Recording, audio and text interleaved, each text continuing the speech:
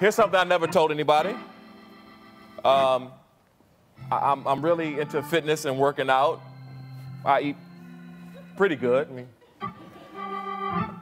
but uh, my big secret is